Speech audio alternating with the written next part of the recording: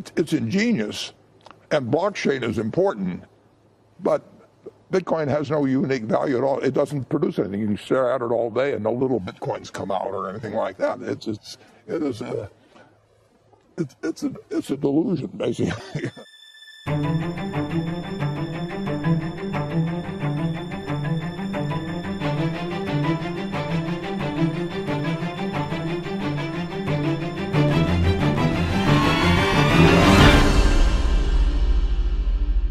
So before you start leaving hate comments below saying Warren Buffett's just getting old, one thing I like you to do is to have an open mind and because let's face it, Warren Buffett is one of the most brilliant minds and investors of our time. And even though I love crypto, even though I love I've invested in Bitcoin as well as all of the other altcoins, the one thing that I'm always very open to is what are people on the other side of the equation talking about? What are their main points? Why? Because this allows you to stay grounded because not everything is going to go to the moon, right? So listen to his points because when you do that, you'll be able to understand what are other people's fears and frustrations uh, when it comes to cryptocurrency. So let's listen to the rest of the arguments and why one of the most brilliant investors of our time just pretty much hates Bitcoin so much? In terms of cryptocurrencies generally, uh, I can say almost with certainty that, that they will come to a bad ending. Now, when it happens or how or anything else, I don't know. People think they're going to make money the next day. And worse yet, if they think somebody else that they know is going to make money and they aren't going to make money, it, it, it just draws people in. You know, I, I, I can whisper something on this program. And, and, and kind of the more sillier it was, the more it might react because there's no quantitative limits. If you buy a stock, you say, well, I'll buy it at 15 times earnings, but I won't buy it at 20 times earnings. But when you get into something that doesn't produce anything, there, there's no there's no checkpoints here. There's, there's nothing to reference it to. It's just it's gone up. So at one point this weekend, you said that Bitcoin, and this was based, you were asked, Charlie said Bitcoin's like rat poison. You were asked about that comment, and you said, well, it's probably more like uh, rat poison squared. Uh, Charlie went on in the meeting to then basically call Bitcoin turds. Um, he, he is an expressive sort, isn't he? maybe, maybe when he gets a little older, he'll mature.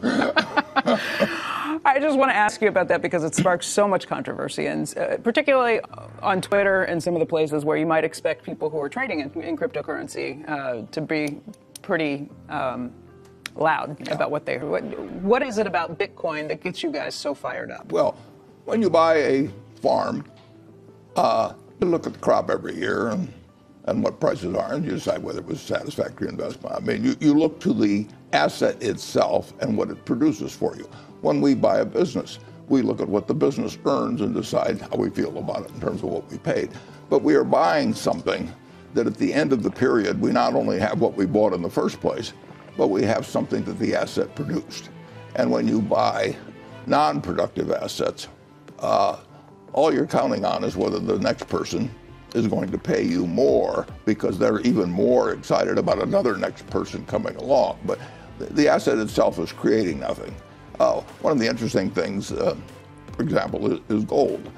Uh, if you go back to the time of Christ and you look at how many hours of labor you had to give up in order to buy an ounce of gold, and you take it forward to now, you'll, you'll find the compound rate maybe a tenth or two tenths of one percent. You know, and, and and then you have to insure it during that time and make sure you know somebody doesn't steal it from you and everything. But it doesn't produce anything.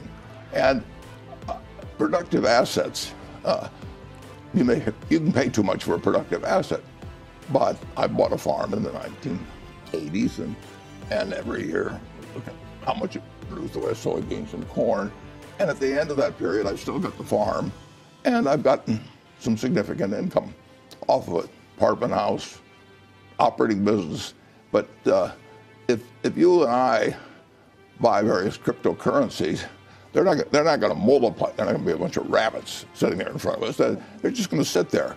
And I got to hope next time you get more excited after I bought it from you, and then maybe I'll get more excited and buy it from you. And actually, we could we could sit in the house by ourselves, and we could keep running up the price between the two of us. But at the end of the time, there's one Bitcoin sitting there, and now we got to find somebody else. And they, and they come to an end. Buying something because you expect the pool of people who want to buy it because they want to sell it to somebody else will grow. And and and you know, it, it's wonderful because it does create a rising price does create more buyers and people think I've got to get in on this and, and it's better if they don't understand it. That's the other thing about non-productive. If you don't understand it, you get much more excited than if you understand it. People, they like to speculate. They like to gamble. And uh, if you can get something, particularly if you have something half plausible going on, mm-hmm. if you had bought gold in 1942 and you say, we might lose the war and we might have to run off to some other country and, you know, so let's put our assets in gold you would have less than a penny for every dollar you got from owning stocks. Less than a penny. Now, somebody calls that a store of value. I mean, I think they're delusionary. In terms of cryptocurrencies, generally, uh, I can say almost with certainty that, that they will come to a bad ending. Now, when it happens or how or anything else, I don't know. But I know this if I could buy long term put on every one of the cryptocurrencies, I'd be glad to do it, but I would never short a dime's worth. Have you thought about you know, trading the futures talking, to take a negative position on Bitcoin? No. You would not do that. No, there's no re- there, there's no reason. I, I, get into enough trouble with things I think I know something about. Why in the world should I take a long or short position in something I don't know anything about? So, uh, you know, we don't have to know what cocoa beans are going to do or or, or, or, any, or cryptocurrencies. We just have to focus on eight or ten stocks that businesses, basically, that we think are decent businesses. Uh, but I do think that I, I, think what's going on definitely will come to a bad ending. Anytime you buy a non-productive asset, uh, you are counting on somebody else later on to buy a non-productive asset because they think they can sell it to somebody for more money. And it's been tried with tulips, and it's been tried. It's been tried with various things over time, and it does come to a bad ending. I'm having you have a hard time. You can you can think of think of raw land. I mean, the Louisiana purchase was say 15 million dollars for 800,000 or so square miles of land. In fact, you're sitting on land that came with the square mile, and you're down to three cents a, or something. So that was a pretty good purchase of what was then a non-productive property. But it depends. But it's very hard. You can buy st- stamps. Bill Gross got every you know collected a wonderful stamp collection, and it sold for more money in the end. But it's dependent on somebody else wanting to buy, hoping they will sell it for more money, and so on. And in the end, you make your money out of productive assets. If you buy a farm, you you try to estimate what the crops, what amount per acre of soybeans or corn or whatever may be raised and how much you have to pay the farmer that farms it for you and what your taxes will be and various things. And you make a conclusion based on what the asset itself will produce over time. And that's an investment. When you buy something because you're hoping tomorrow morning you're going to wake up, you know, and the price will be higher, the only reason, you know, you need more people coming into it than are leaving. And, and they, uh, and you can get that and it will feed on itself for a while and sometimes for a long while and sometimes to extraordinary numbers but in the end but they come to bad endings and cryptocurrencies will come to bad endings and it, along with the fact that there's nothing being produced in the way of value from the asset that, that uh, you also have the problem that it draws in a lot of charlatans and that sort of thing who are trying to create various sorts of exchanges or whatever it may be. It, you know, it, it's something where where people who are of less than stellar character see an opportunity to uh, clip people who are trying to get rich because their neighbor's getting rich buying this stuff that neither one of them understands. It will come to a bad ending.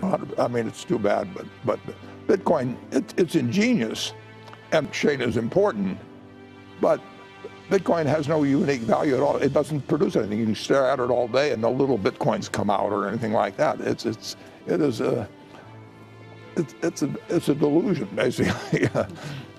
So we've gone from rat poison square to a delusion. Well, That's kind of an upgrade. Yeah, I, uh, yeah, I don't. Who knows where we'll be next year? But I, I, I'm, I'm really sorry it happens because people get their hopes up that something like that is going to change their lives, and it's a very ingenious thing to figure out how to have a limited supply and make it harder to, more expensive to create them as you go along, and all that sort of thing.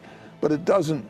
The function, is, and, and this is explained to me by people a lot smarter than I am, but they say blockchain does not depend. on, you know, and J.P. Morgan is talking about creating their own, you know, JPM, and and it'll it'll be worth a dollar. I mean, it's matched to the dollar to dollar, and uh, it's. I, I, I'm, I'm sympathetic to people that want to. People react uh, when you criticize their investment if they get mad. They're gambling. You know, if somebody criticizes Apple or Berkshire, we like it. I mean, if the stock goes down, we'll buy more of it uh, because uh, it's it's we don't care whether it, it, it's just we don't feel that it has anything to do with it. Uh, but if we criticize something that they own because they only want it to go up tomorrow, uh, they feel we are hurting them, and therefore they get very upset about it. If they really like what they own, what difference would it make? You know, you know. In, in the end, I, I, may start a war on currency. You know, maybe I can create one, and I'll say there's only going to be 21 million of them, and you can have a little ledger sheet from me and everything that says you have it, and and you can have it after I die, and. You, but you can't do anything with it except sell it to somebody else.